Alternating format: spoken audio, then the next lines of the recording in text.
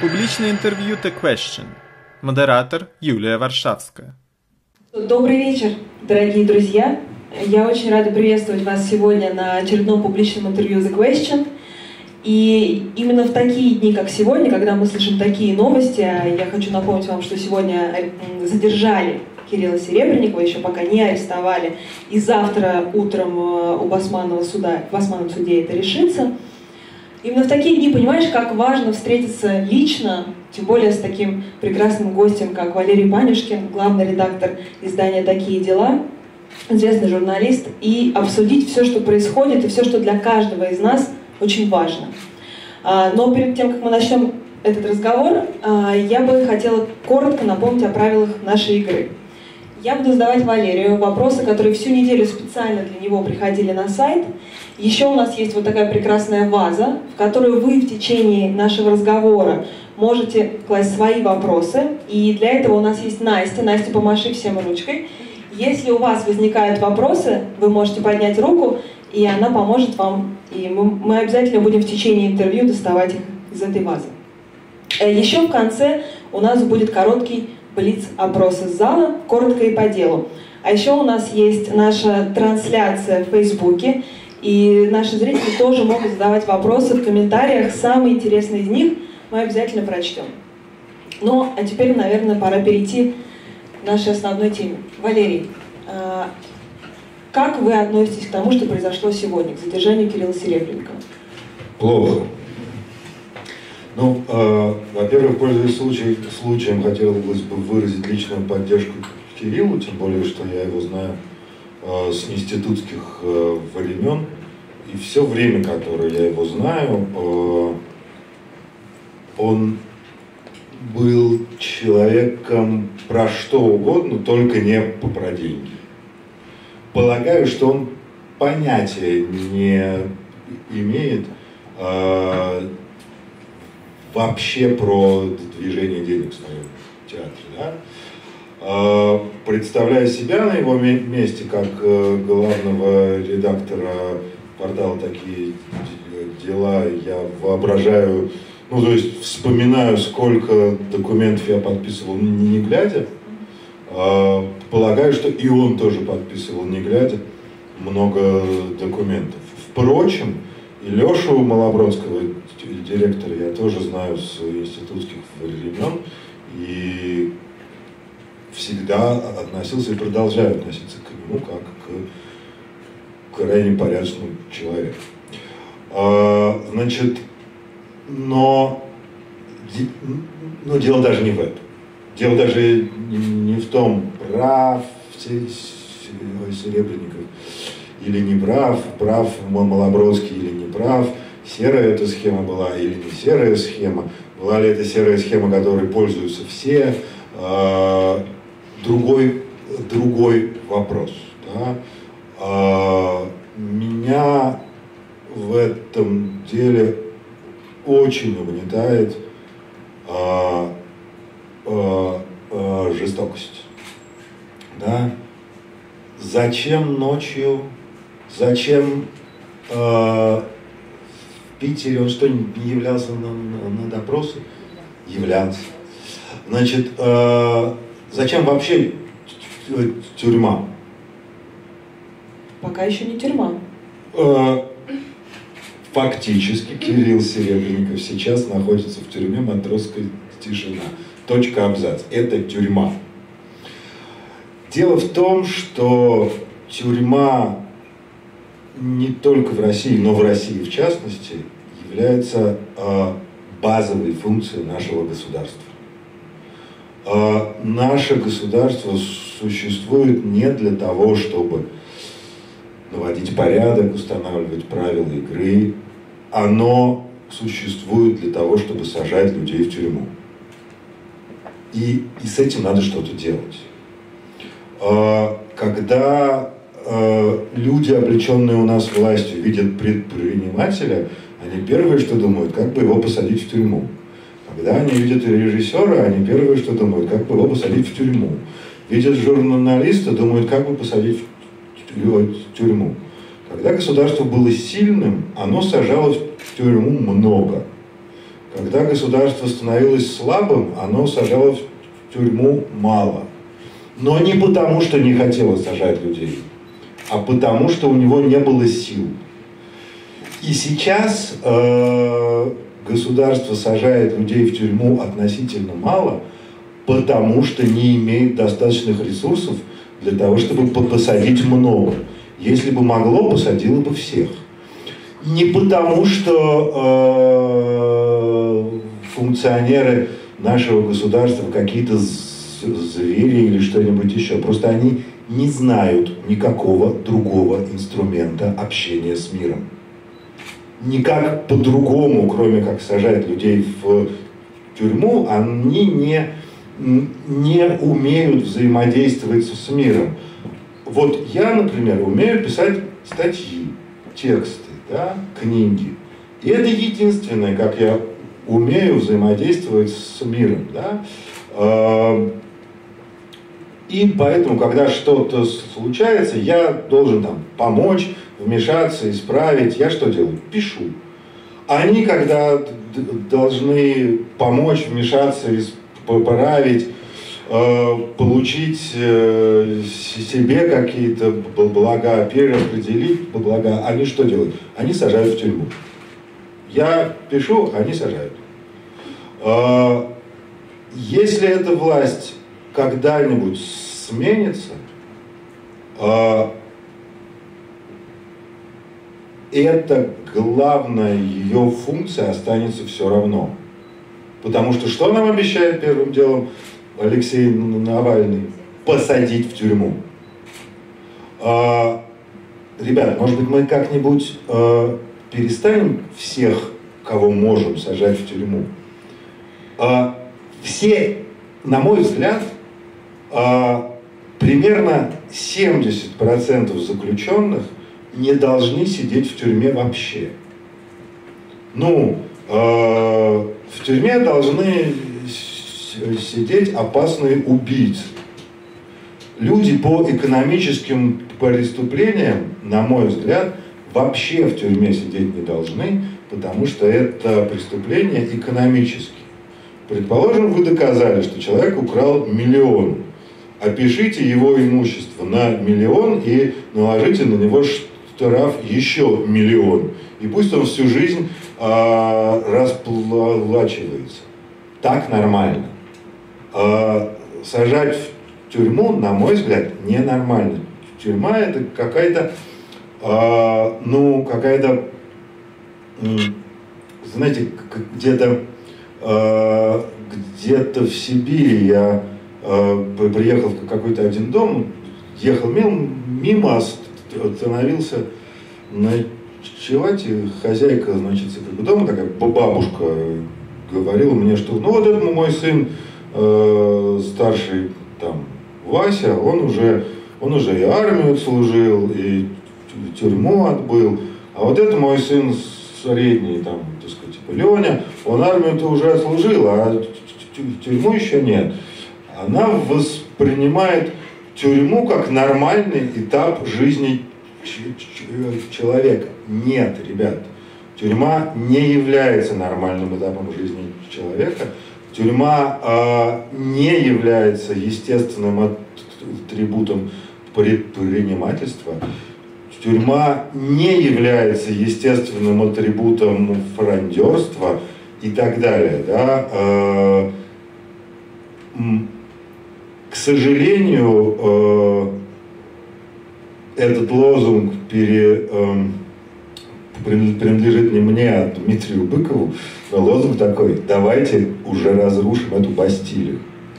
Вот, ну, дело не в том, чтобы сменить одних властителей другими властителями. Дело не в том, чтобы те, кого сажают сейчас, сажали тех, кто сажал их раньше, а дело в том, чтобы не сажать, сажать как можно меньше.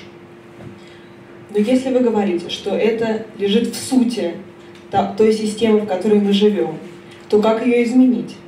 что, что нужно сделать, если одна власть, которая придет вслед за той, которая есть сейчас, ничего не изменит, тогда что нужно? Ну, сначала включить мозг, как да? Кому? А кому включить мозг? Кто его должен Все, включить? всем, всем. Дело в том, что эта штука находится в голове у всех. Дело в том, что она и в голове у сторонников Навального находится тоже. Это воры, посадить их всех. Партия жуликов и воров, давайте посадим всех. Минуточку. В партии жуликов и воров больше трех миллионов человек. Вы правда хотите посадить 3 миллиона человек? Это больше, чем в 1937 году. Вы правда этого хотите? Вы понимаете, что такое посадить 3 миллиона человек, даже если они все воры? Это много. Это дофига. Вот, поэтому э, я э, верю в то, что изменение сознания возможно. В домострое черным по белому написано, что женщину надо бить. Э, только бить ее надо обязательно по голове, потому что всеми остальными частями тела она э, э, э, рожает и кормит. А голова ей совершенно ни к чему. И тем не менее, за те там, я не помню, сколько лет прошло, мы сумели как-то внедрить в сознание значительной части населения, что женщину бить не надо. Ну, уже довольно много людей так думает. Хочется уточнить, какого? Население какой страны? Население России все-таки, ну, все-таки э, при, при, при всем нашем высоком уровне домашнего насилия, все-таки, э, во-первых, оно считается скорее предосудительным, а не нормальным.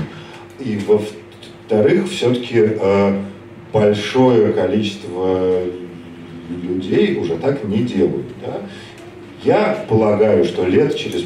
Что если мы начнем сейчас внедрять в свое сознание мысль, что тюрьма не является обязательным атрибутом э, и не является обязательным этапом жизни, то лет через 500 э, мы будем, например, брать с э, Кирилла Серебренникова подписку о невыезде и продолжать спокойно расследовать его дело. А, ну, мне очень, мне кажется, очень важной ваша мысль о том, а, что нам нужно сейчас всем работать над своим мозгом. И, конечно, через 500 лет это хорошо, но хочется про сейчас. Когда еще в мае были обыски у Кирилла, к Гоголь-центру пришли люди, которых вместе очень сложно было представить. Там были все, от Федора Бондарчука до, я не знаю, до Ильи Яшина, оппозиционера. Вот это событие, сего- сегодняшнее задержание, может ли стать поворотным моментом, когда что-то изменится по-настоящему? Я думаю, что нет. Я думаю, что, что таких поворотных моментов должно быть очень много. Да, и будет. К сожалению, будет. А, И, к счастью, а, сегодняшнее наше государство достаточно слабо для того, чтобы им, а, ему, можно было, ему можно было сопротивляться. Почему то, что происходит вокруг нас, это не 37 год, потому что в 37-м не было выхода. А сейчас выходы есть. Куда? А, Ну, э, довольно многие люди, которые попадали в эти жернова, были отпущены или получили условный срок, или получили небольшой срок, да, то есть э, не надо иметь ощущение, что ну все, попал и тебя сживало. Нет, тебя не, сжи- не сживало. Э, многие, многие люди вырывались из этой пасти э, тем или иным способом, в той или иной степени. Поэтому э, вспомните, пожалуйста, что у нас есть права. Да, они плохо защищены, но они, тем не менее, есть. Э, И их, тем не менее, э, применять можно. Можно не свидетельствовать против себя, не свидетельствуйте против себя. Можно эм, иметь адвоката, не говорите без адвоката. Можно э, не писать доносы, не пишите доносы. Можно, можно э, получать свидания с э, родственниками. Поэтому э, женитесь и выходите замуж. Э, это вам, это вам, это вам пригодится. Э, ну, потому что, потому что бойфренда или герлфренда в тюрьму к вам не пустят, а жену или мужа к вам в тюрьму пустят. Подумайте об этом. Ну вот я обратила внимание на то, что когда вы э, начали об этом говорить, получается, что государство все равно в какой-то очень доминирующей позиции. Оно нас отпустит, то есть да, оно помилует или карает – это не слишком безысходная позиция и ставящая нас априори в слабое, как слабое звено этой системы? Это свидетельствует о чрезвычайной нашей инфантильности. Э, когда мы там, я не знаю, собираем деньги на что-нибудь благотворительное, да, что ты делаешь?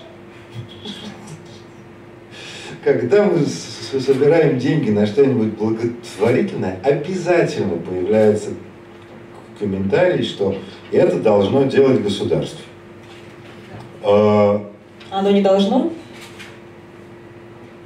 Оно-то может и должно, но вам не должна, э, нам не должна приходить в голову такая мысль. Э, у меня рак, я сейчас умру, меня должно спасти государство. Алло, оно не, не спасает тебя. Ты видишь, что оно тебя не спасает. Зачем ты вообще про это думаешь? Вот оно как-то так устроено, что оно тебя не спасает. Э, и, и, э, и просто интенция должна, должна исходить из э, ну, э, в противоположную сторону. Не то, что я сижу и жду, что государство спасет меня или покарает меня, или наведет мне порядок, или не наведет мне порядок, да? Нет, я, ну, каким-то образом активно что-то делаю, да? Э, предположим, что там, я не знаю, э, у нас у власти оккупационный режим, как утверждает э, наша радикальная позиция. Возможно.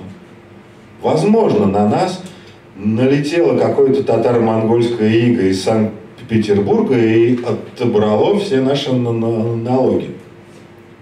И нам теперь не на что учить детей, не на что лечить детей. А и, и вот они, значит, собрали все наше добро и уехали в Сент-Тропе. Минуточку, мы что теперь, детей учить не будем? Мы теперь детей лечить не будем? Мы теперь стариков обихаживать не будем? Да, у нас это отобрали. И что теперь? И мы опустили руки и говорим, ну ладно тогда, ну что, ну пусть сдохнут. Нет, ребят, не пусть сдохнут. Если мы такие балбесы, что мы отдали наши налоги, это не значит, что нам надо опустить руки и э, говорить, ну слушай, государство, ну может хотя бы что-нибудь э, вернете? Нет.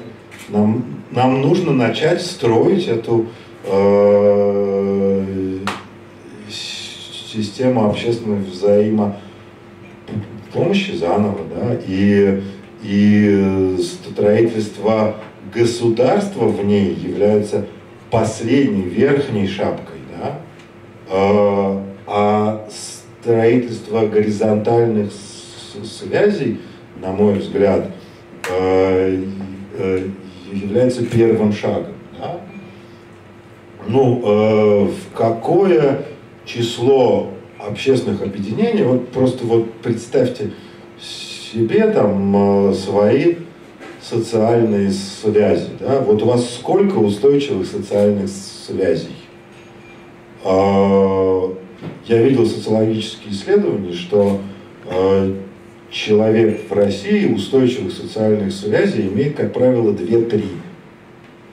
Ну, то есть он там, э, он кто? Он э, член родительского комитета в школе и принимает участие в собраниях своего ТСЖ максимум. Ну или он может быть член какой-нибудь партии. Да? А, в то время как а, в развитых странах устойчивых социальных связей у человека, как правило, 30. Он член добровольной пожарной команды, он член а, клуба любителей японской поэзии, он, ну, вот это, ну, вот это все, да. А еще он в спортивный клуб ходит, а еще, ну, вот это. И э, и это приводит к тому, что люди могут разговаривать. Я плохо представляю себе, как мне э, э, поговорить с милиционером. Я, я плохо представлял себе это, пока э, не стал ходить в боксерский клуб. И пока мой товарищ милиционер не стал моим секундантом во время моего первого боя. И теперь я понимаю, как мне разговаривать с милиционером, да, и я понимаю, что я, наверное, э, не могу с ним поговорить про книгу Роберта Бена Уоррена «Вся королевская рать», потому что это книга, которую я читал примерно раз 20 на русском и на английском э, и знаю примерно наизусть, а он не читал никогда. Окей, про это мы поговорить не можем, но про бокс-то мы можем поговорить? А, и мне кажется, что, что, что а, вот этот выход из э, ситуации, описанной Гоббсом, которая, в которой мы сейчас находимся, война всех против всех, а, что вот этот первый выход, первый шаг к выходу из этой ситуации заключается в налаживании устойчивых горизонтальных связей. Да? люди должны э, научиться э, разговаривать хотя бы с теми, с кем можно разговаривать, хотя бы про то, про что мы можем разговаривать. Э, и, и так далее. Через 5500 мы, мы дойдем к финалу книжки Гоббса и построим, э, как это называется, вот этот самый э, общественный договор, в результате которого, в результате которого, не для которого, а в результате которого сложится более-менее адекватное государство, которое будет знать другие методы наведения порядка, кроме тюрьмы. Ну вот благотворительные фонды – это очевидный пример, яркий пример таких горизонтальных связей. Как вы думаете, можно ли назвать сегодняшние благотворительные фонды политической силой в России? А,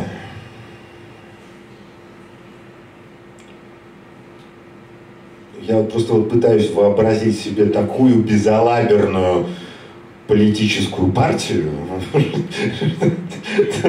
Это какая-то махновщина какая-то просто. То, что, то, что представляет э, собой вот этот благотворительный сектор, это махновщина кто в лес, кто по дрова, кто, кто значит, в эполетах, кто с позументами, кто, кто в рабочей одежде, кто с наганом, кто с косой. Ужас какой-то. Вот. Но э, да, некоторые политической силой э, являются.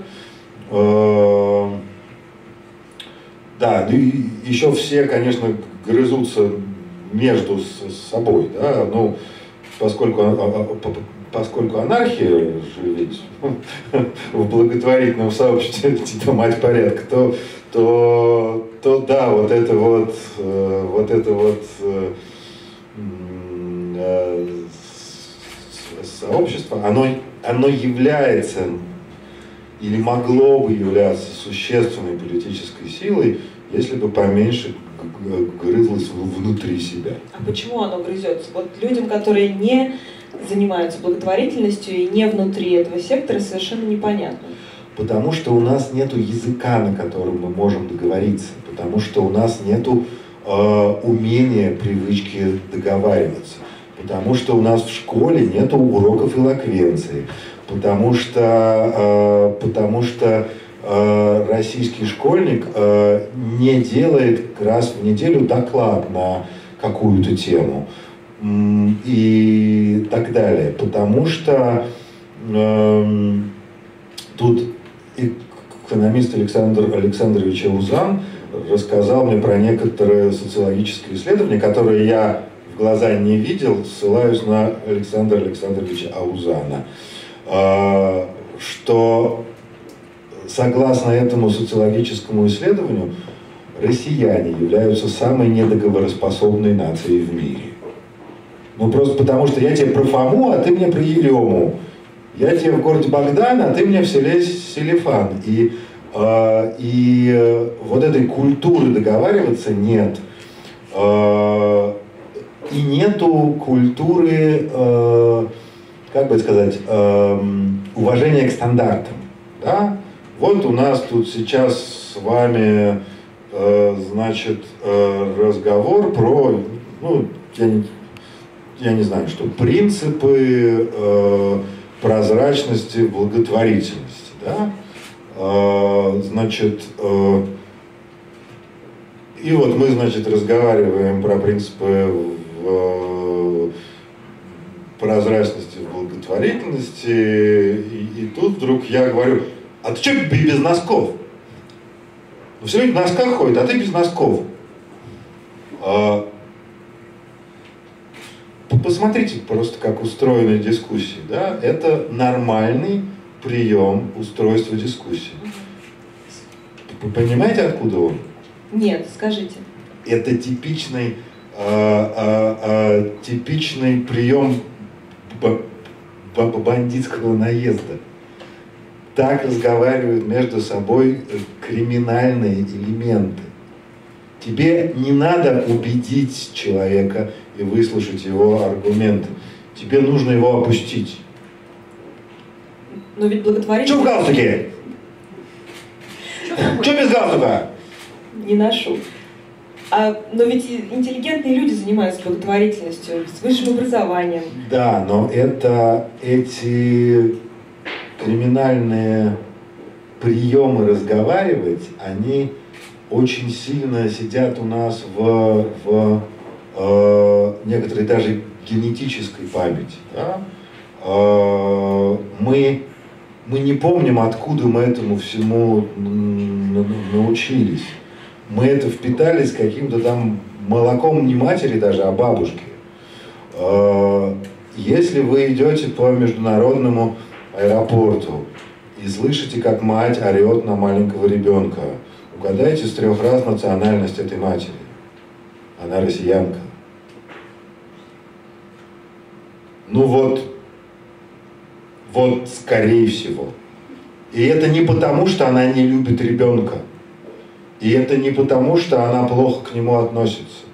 И, а это потому, что она впитала с молоком бабушки, что на ребенка нужно орать, потому что есть один момент в жизни, когда на ребенка нужно орать. И этот момент жизни – лагерная колонна. Потому что в лагерной колонне отнимают все самое ценное – и заставляют тащить все самое тяжелое. Тебе в лагерной колонне нужно показать конвоирам, что ребенок не представляет для тебя ценности, а представляет обузу. Тогда его оставят тебе. Это никто этого не понимает. Это, это точно так же, как мы не понимаем, почему, э, почему когда ты, ты берешь женщину под руку, ты должен брать ее правой рукой, а не левой рукой.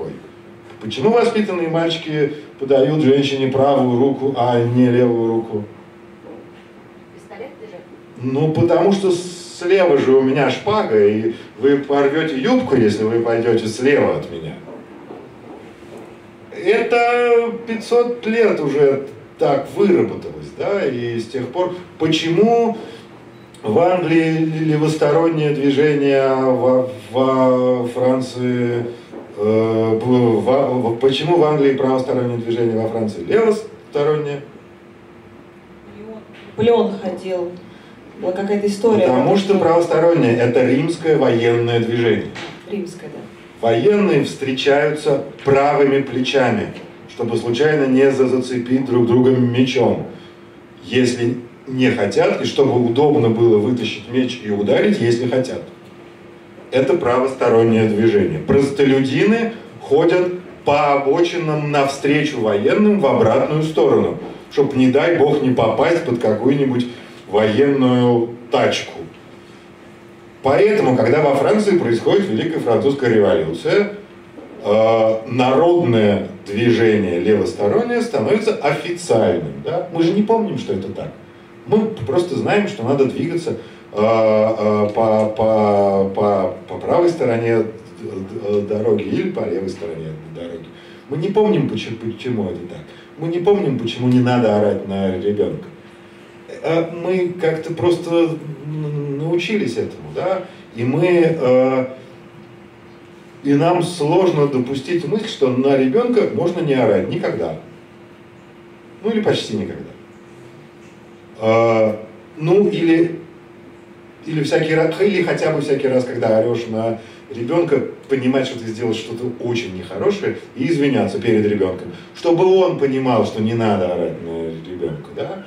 А, тебя-то уже там Горбатова могилы исправляли, да? Ну, чтобы хотя бы он видел, что папа у меня был стукнутый какой-то, поликонтуженный, и время времени ну, на меня орал, да, вот, но, но, но всякий раз извинялся, да, хотя бы так. И тогда, через 500 лет, мы, э, в общем, и так далее. А вам не кажется, что то поколение, которое растет сейчас, у которых не шпага и не лагерь, а iPhone в руках, и которое с удовольствием идет волонтерами в благотворительные э, фонды, например, они уже совсем другие. И они могут стать политической силой, которая, возможно, станет опасной для власти? Они другие. Э, я на это очень сильно надеюсь, но точно так же, как мы были другие по отношению к нашим родителям, да. Наши родители были другие по отношению к нашим бабушкам и, значит, так сказать, типа дедушкам, да. Э, меня Я только думаю, что тут понадобится еще не одно поколение, а несколько.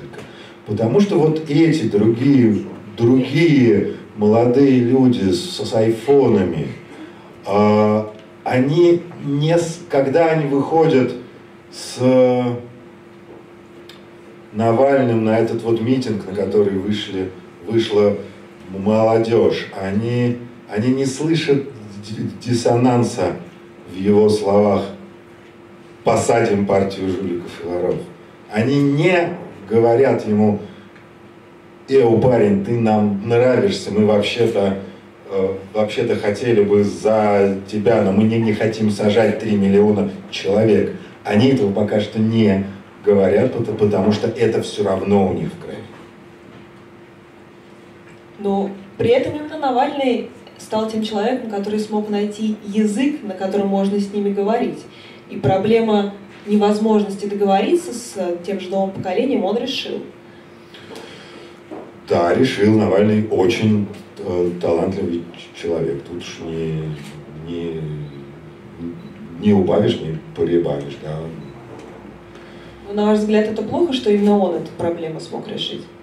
Вы бы хотели, чтобы это какой-то другой человек сделал? А, ну, э, ну, конечно, я бы хотел, э, чтобы у, у, чтобы у власти в России был, я не знаю, Алексей Владимирович Барташевич, да, ну или, или кто-нибудь такой, или хотя бы Сан Саныч Аузан, да, вот, э, образованный, э, интеллигентный, э, вообще такой вот интеллектуал. Но так же ведь не бывает. Ну, так не бывает. Кроме короткого периода, когда э, президентом был Вацлав Гавел, э, история, по-моему, не знает таких примеров. Но Вацлав Гавел был президентом, во-первых, очень недолго, а во-вторых, Чехии. А в-третьих, э, ну, поговорить чехами, и они скажут, что мы, конечно, очень любим Гавела, но что-то вот там он запутался, да?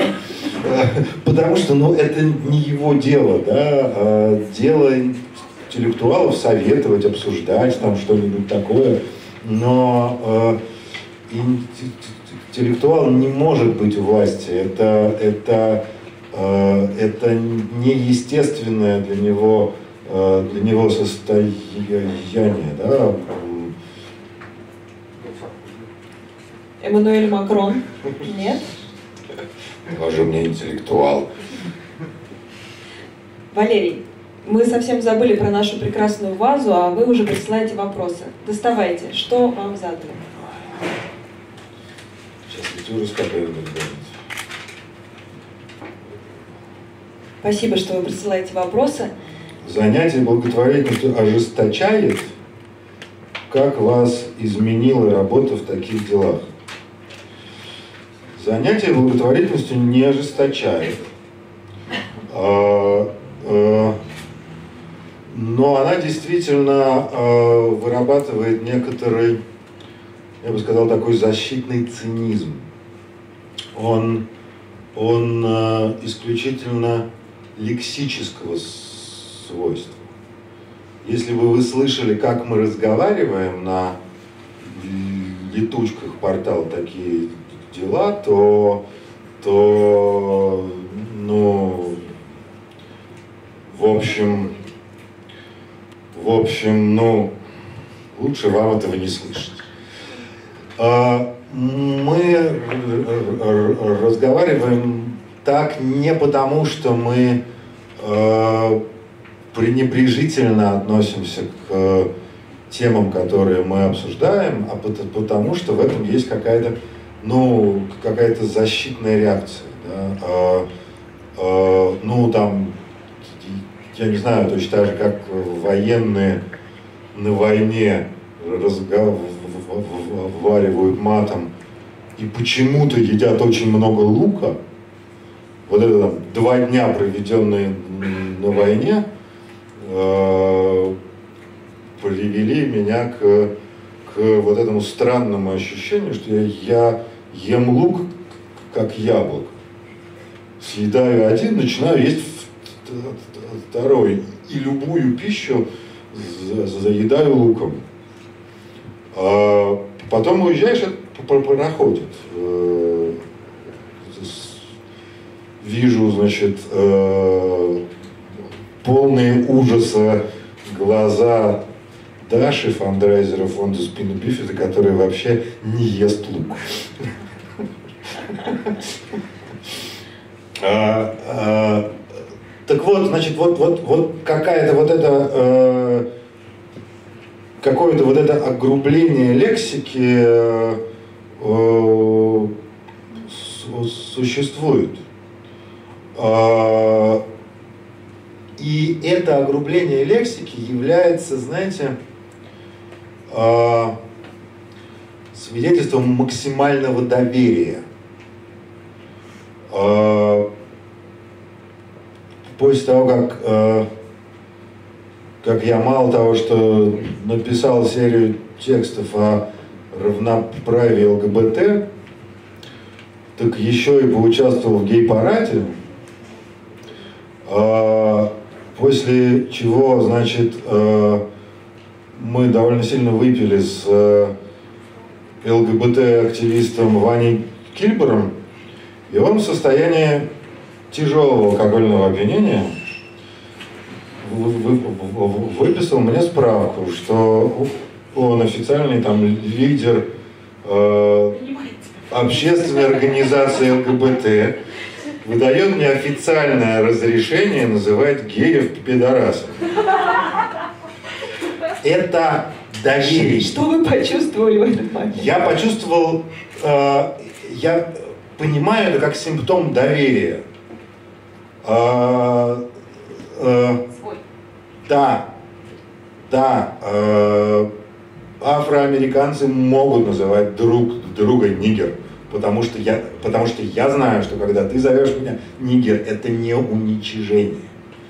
Э, там, я не знаю, лесбиянки зовут друг друга лесбухами. Я это слышал. А, потому что они знают, что это не, это не, это не...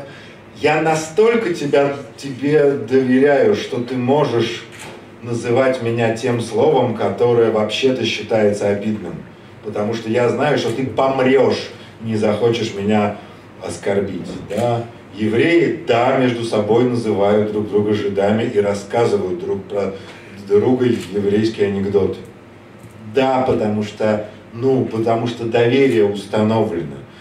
И э, вот эта лексика, вот этот, вот этот, э, вот то, что мы все время разговариваем про то, speech это или не speech, свидетельствует о том, что мы друг другу не доверяем.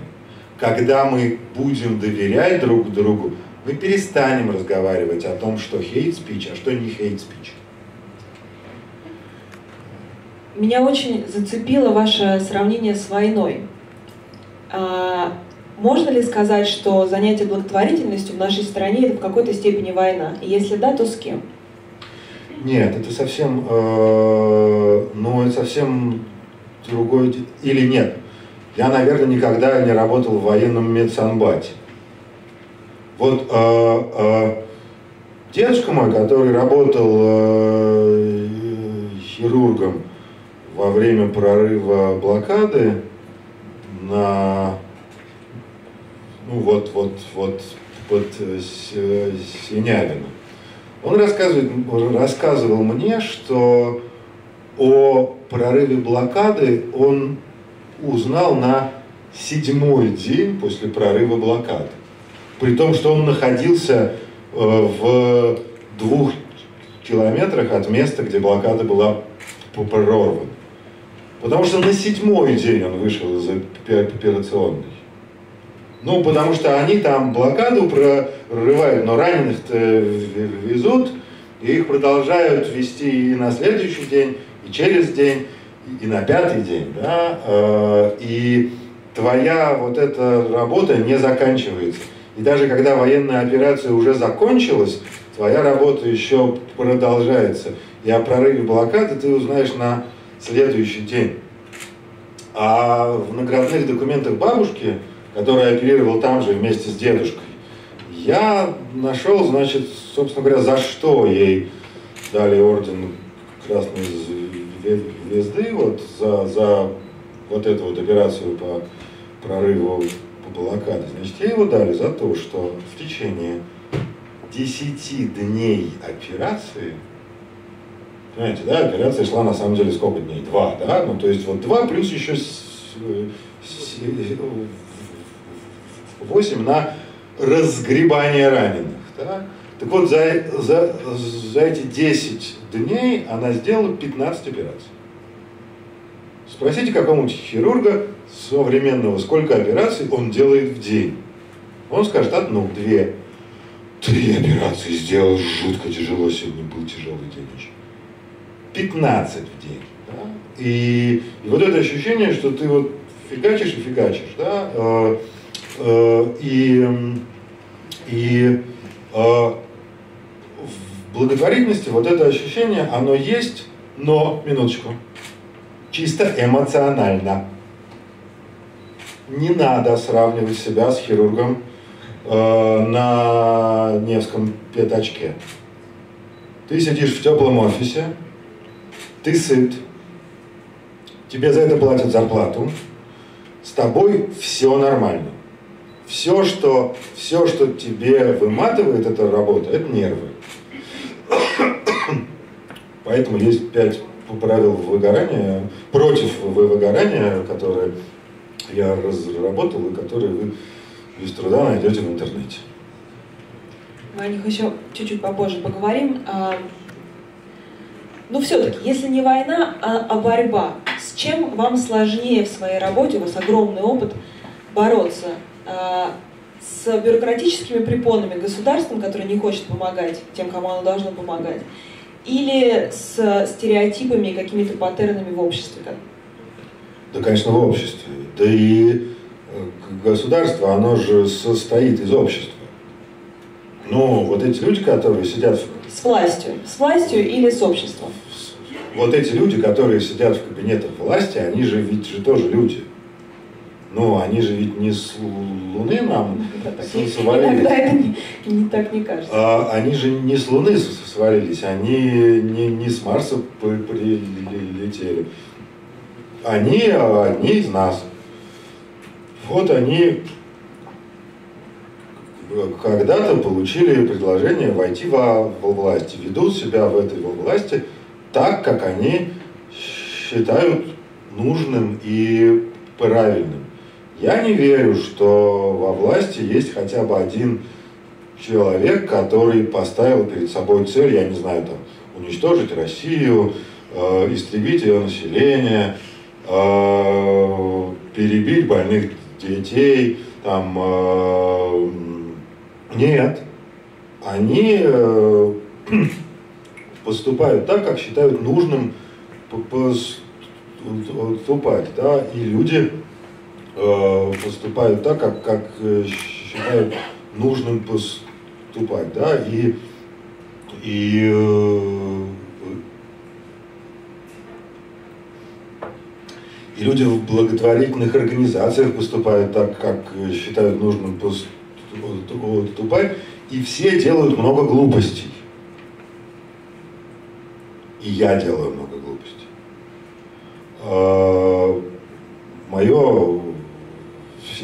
Историческое значение, как я его понимаю, заключается в том, что я отдаю себе отчет и публично признаюсь в том, что делаю много глупостей. Какую самую большую глупость вы сделали? Ой, вот я их не ранжирую. Я, я, я в них э, признаюсь по мере поступления. Ну, какая последняя? Что, в чем вы признались?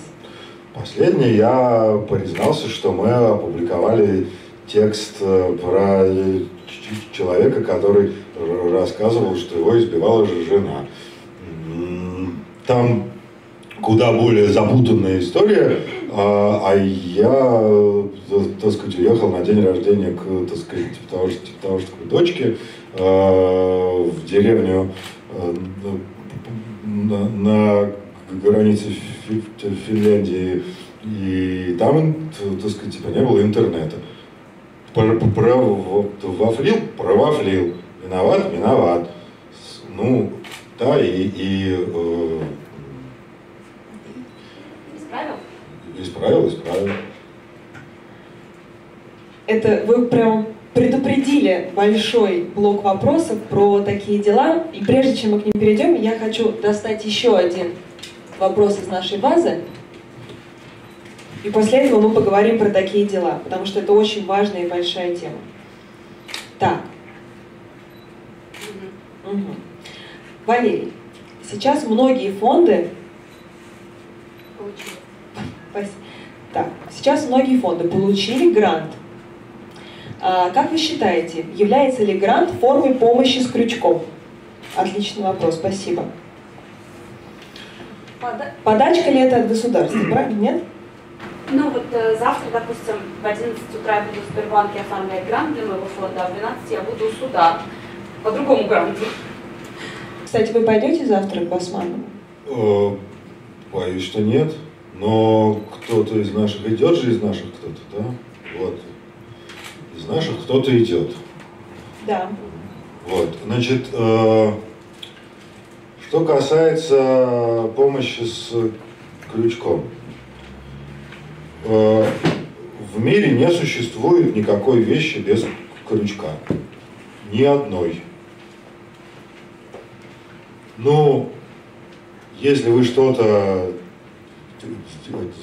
сделаете, то это вас к чему-то обязывает, и когда оно станет вас обязывать, то вам надо будет либо прогнуться, либо отказаться, несмотря на то, что вы получили помощь. Да? А я, у меня проще вопрос, не могут ли нас посадить всех? Могут. Могут. Сегодня в театр, завтра в фонд. Конечно. Да. А вам страшно? Нет. У нас по, по, по Нет, вообще. страху у нас есть специалист в редакции. Вот. Э, я нет, я не по, по, по этой, так сказать, по части. Я считаю страх достаточно бесполезным чувством. Да, э, да вы, вы, вы получаете деньги от государства, и однажды к вам может э, прийти там Валер, ну понятно, что однажды может придет, но как бы мы как бы сейчас думаем о чем? О том, насколько действительно это как бы государству зачем-то нужно. Понятно, что в любом государстве, которое дает гранты благотворительным фондам, если они использованы на целевой или как-то еще, то этих людей возьмут, посадят, и, и это все будет правильно или неправильно, неважно. Мы пытаемся понять сейчас, с учетом того, что все-таки благотворительные фонды являются некой политической силой, пусть мы все грыземся между собой, пусть у нас нет какого-то единого фронта, но тем не менее мы как-то все-таки, тем не менее, говорим о тех проблемах, которые государство предпочло бы умолчать предпочло бы умолчать. И теперь, когда государство выдало очень щедрые гранты практически всем фондам, которые об этом попросили, не урезав никого ни в чем, как бы вдруг э, задались мы вопросом, откуда вдруг такая случайная милость, если в прошлом году все забрали волки?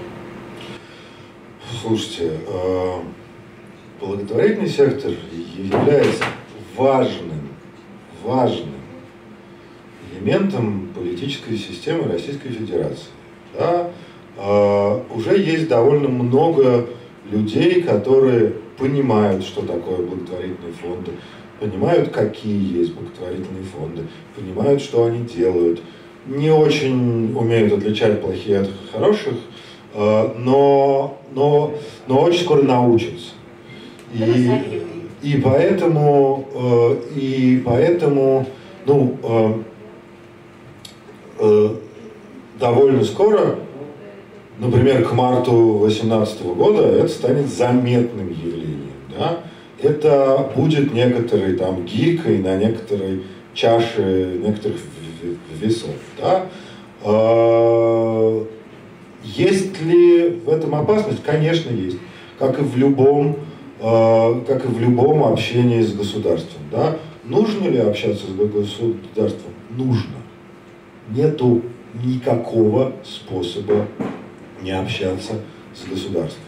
Как только вы становитесь чуть больше, чем э, три человека, которые собрались во дворе построить детскую площадку, вы сразу начинаете общаться с государством с той или иной степенью подобострастия, степень подобострастия выбираете сами. Значит, эм, Э, можно ли, можно ли сотрудничать с этим режимом? Нет, можно. Можно. Не сотрудничать можно, э, сотрудничать можно с любым режимом, да? Януш Корчик объяснил нам, показал нам, как можно и нужно сотрудничать с фашистским режимом.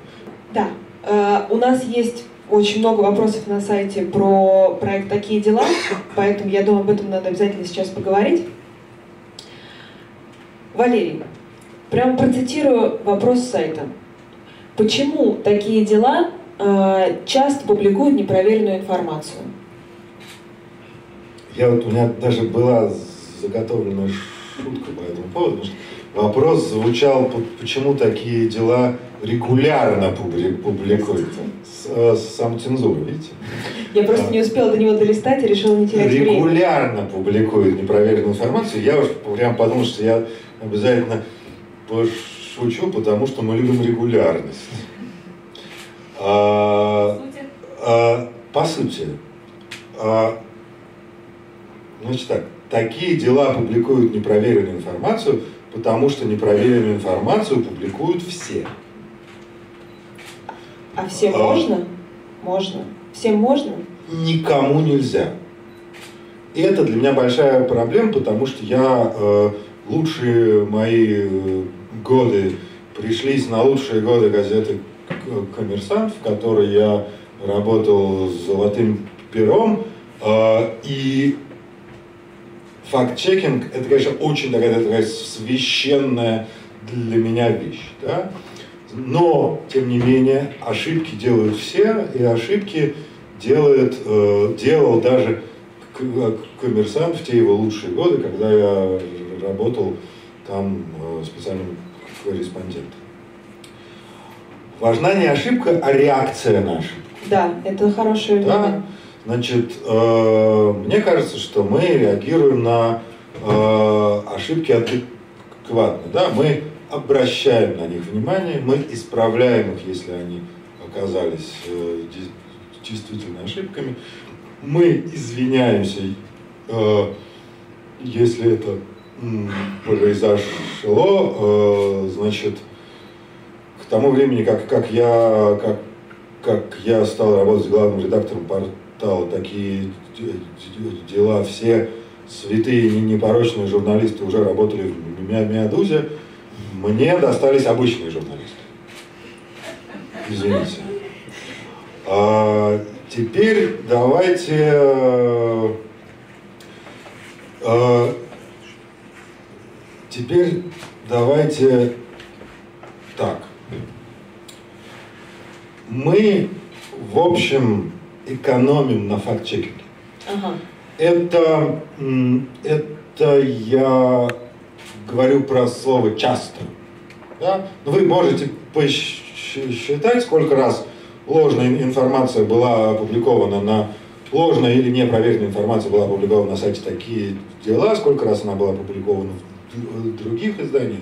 Вот. э, Ну, можете там еще центральные телеканалы по- по- по- помониторить по поводу непроверенной или ложной информации. Вот. А, Ну, это я... Вот, вот, в том вся и штука, да, что э, непроверенная информация на таких делах оскорбляет, и это я понимаю как симптом того, что вообще-то вы мне верите. А, потому что, ну, непроверенная информация на центральных телеканалах не оскорбляет, потому что вы все равно им не, не, не, не, так сказать, вы верите. Ок. Теперь смотрите, какая у меня проблема. Да? А, Можно было бы завести отдел факт-чекинга. Людей со свежими головами, которые не готовили бы эти тексты, не редактировали бы эти тексты, а только тем бы и занимались, что сидели бы и проверяли факты в тексте, которые они первый раз свежим взглядом видят. Вообще-то в средствах массовой информации такие отделы есть. Мы несколько особенное средство массовой информации. А в чем его особенность? Особенность его в том, что мы работаем на благотворительные деньги. Мгм. Да, мы не включаем э, расходы на нашу работу в сборы, которые мы объявляем.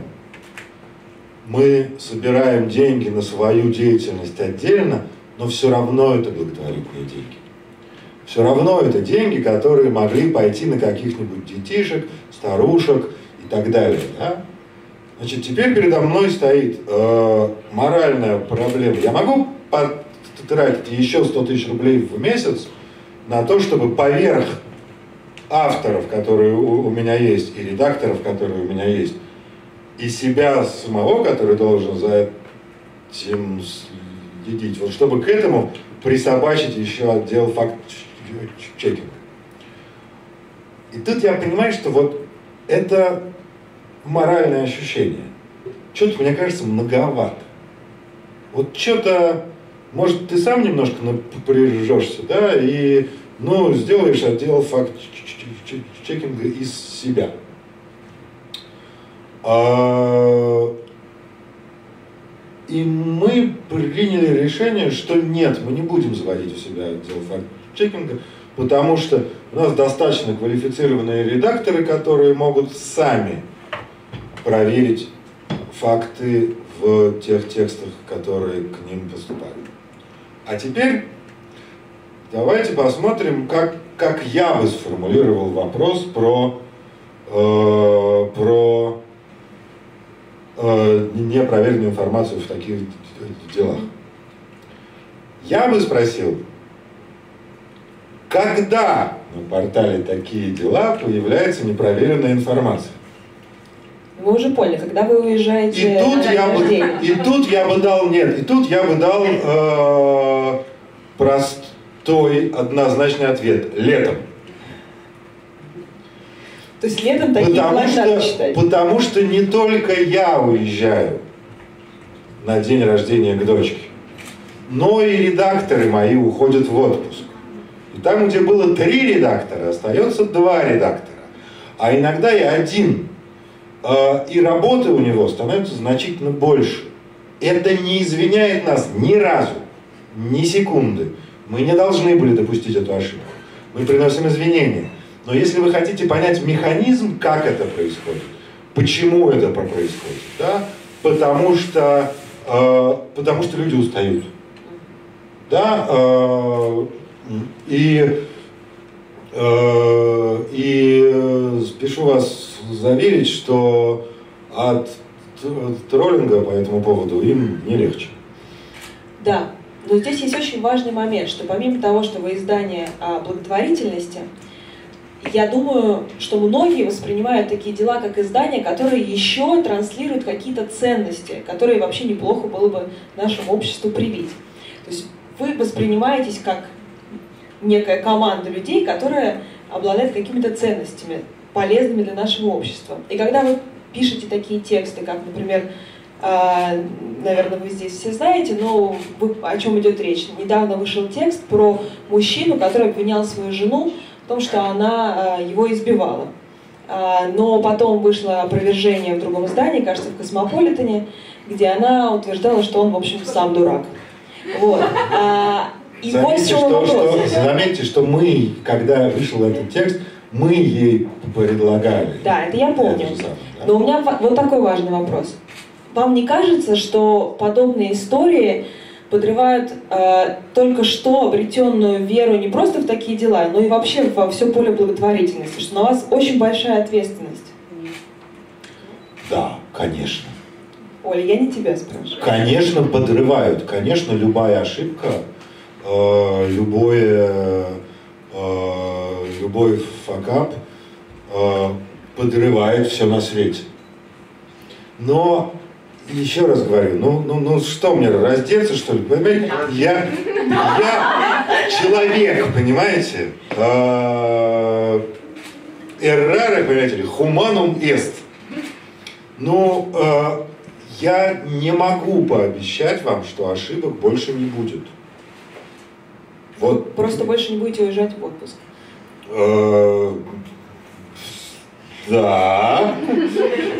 Я вот, например, работаю, работаю на портале «Такие дела» э, уже почти полтора года, и в отпуске за эти полтора года не был ни разу. Вот собираюсь 8 сентября. Ждите, ждите ошибок. С 8 по 24 осторожнее читайте портал «Такие дела». Э, Значит, послушайте, ребят, э, главное, э, как вы сказали, ценность, которая транслирует Да, ценности. «Такие дела». Главная ценность, которую транслируют такие дела. Сейчас, конечно, прибежит Дмитрий Олешковский и скажет, что я неправильно транслирую официальные ценности. Но главная ценность портала «Такие дела», как понимаю ее я, она следующая. Пожалейте друг друга. Ребят, ну пожалейте друг друга, ну мы же сгрызем. Я понимаю, что Гоббс написал про эту войну всех против всех. Я понимаю, что мы находимся в этапе войны всех против всех. Ребят, но, но мы хрупкие довольно. Ну давайте как-то пожалеем друг друга, да? Ну вам не станет лучше от того, что вы пнете меня. Э, ну, ну, станет? Спасибо вам огромное за ваши вопросы. Спасибо зрителям, которые смотрят нас в трансляции. Это был прекрасный вечер. Спасибо вам огромное. Приходите еще на интервью The Question.